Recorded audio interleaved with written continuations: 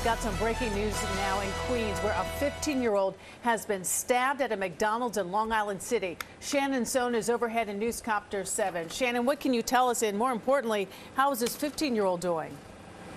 Well, the 15 year old is now at Elmhurst Hospital and is in stable condition. What we know at this point is that the stabbing happened at about 4.15 this afternoon at this McDonald's at 21st Street and 31st Drive. And from what we are seeing from the investigation, it appears that most of the investigation is centered around the parking lot of that McDonald's. That 15-year-old stabbed in the backside again in stable condition at the hospital. Police at this point are searching for two suspects. They are said to be teenagers that fled the scene, but this is an ongoing investigation. Again, two suspects at large and that teenager now in the hospital.